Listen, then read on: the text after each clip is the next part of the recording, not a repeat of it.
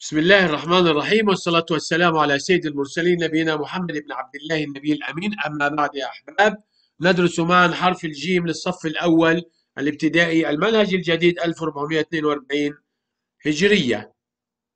حرف الجيم يكتب هكذا في بداية الكلمة وهكذا عندما يكون متصلا في الوسط وهكذا إذا كان متصلا في النهاية وهكذا إذا كان منفردا. حرف الجيم يكتب هكذا نصعد إلى أعلى ثم ننزل وعند العودة نقوم بالنزول هكذا ثم نضع النقطة. جيم جمل. جيم جمل.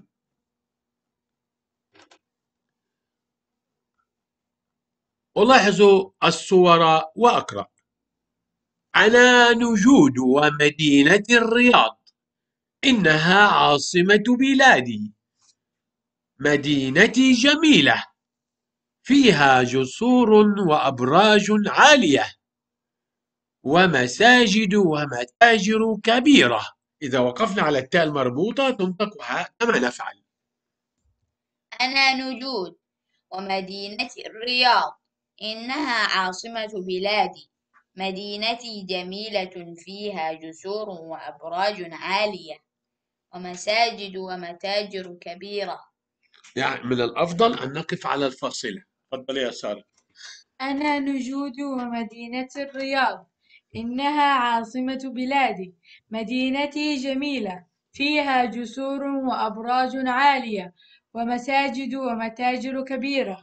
أقرأوا نجود جسور أبراج مساجد متاجر. نجود جسور أبراج مساجد متاجر. نجود جسور أبراج مساجد متاجر. أقرأ الكلمات ثم أجرد الحرف. جميلة الجيم عليها فتحة جاء جسور الجيم عليها ضمة جو. مساجد الجيم تحتها كسرة جي.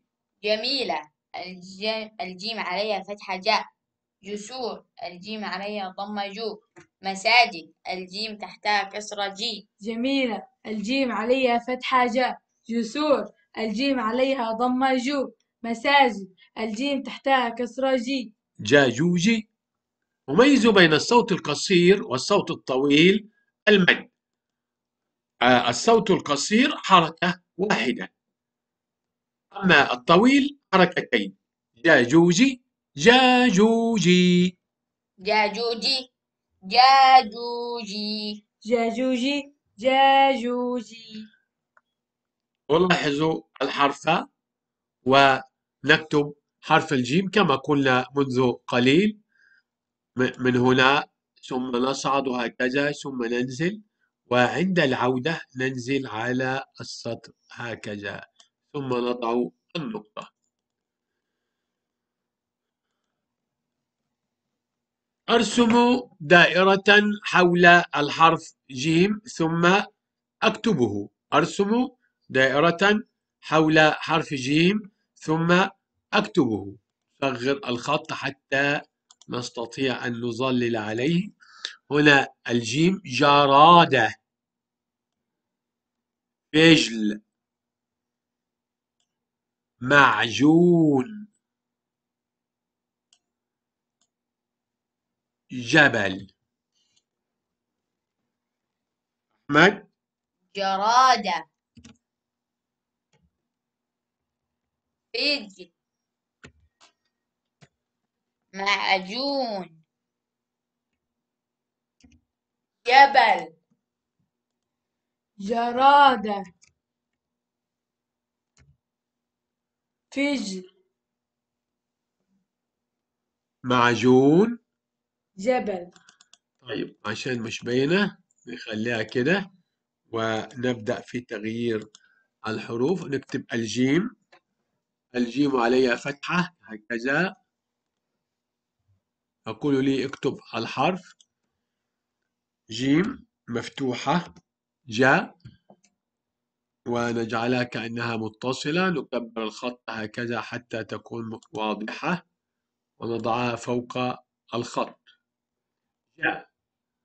هنا الجيم عليها سكون ونضعها على الخط هكذا. هنا الجيم عليها ضمة ونضعها فوق الخط هكذا. جو.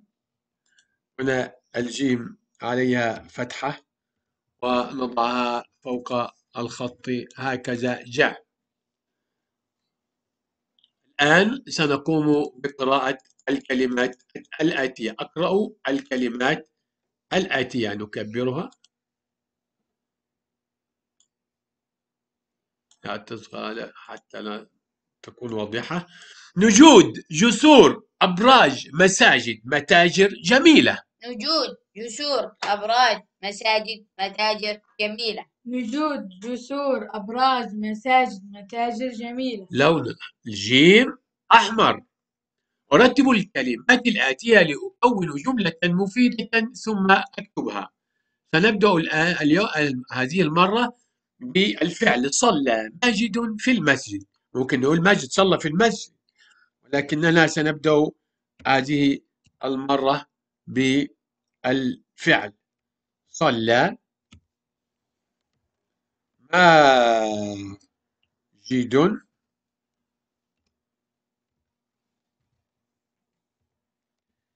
في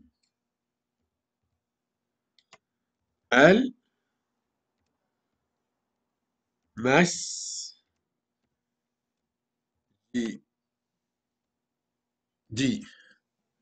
صلى ماجد في المسجد. صلى ماجد في المسجد. وممكن نقول ماجد صلى في المسجد. ممكن نخليها نقول برضه بطريقة ثانية اللي يحب يعملها يقول ماجد ماجد صلى في المسجد. تبقى هنا جملة اسمية وليست جملة فعلية. نشاط إسرائي هنا الجمل والثعلب. الجمل والثعلب.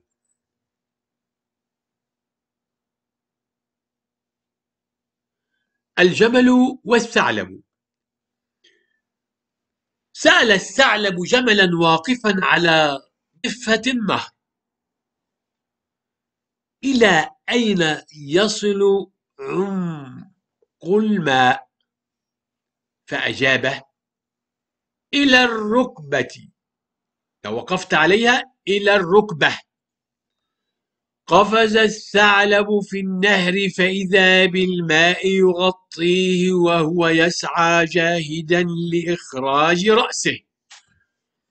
فلما وقف على الصخرة صرخ في وجه الجمل قائلا ألم تقل إن الماء يصل إلى الركبة؟ أفكر بماذا سيجيب الجمل. أن ركبة الجمل هو ما هو؟ أيوة ركبة الجمل غير ركبة الثعلب. بالنسبة للجمل ركبة الجمل عالية أما ركبة الثعلب منخفضة أن الثعلب قصير. تفضل يا أحمد. الجمل والثعلب. سأل الثعلب جملا واقفا على ضفة النهر. إلى أين يصل عمق الماء؟ فأجابه إلى الركبة.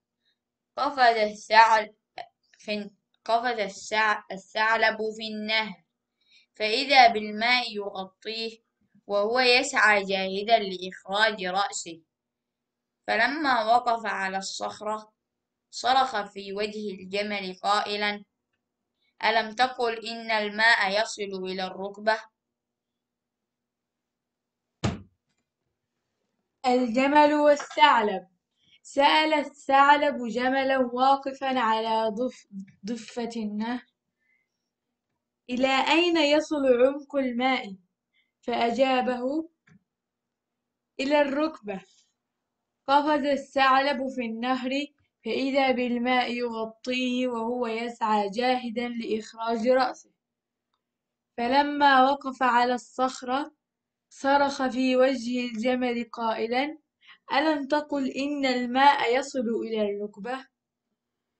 هكذا نكون قد انتهينا من حرف الجيم ونلقاكم على خير. لا تنسونا من ال like والتعليق الجيد والاشتراك في القناة. والسلام عليكم ورحمة الله وبركاته.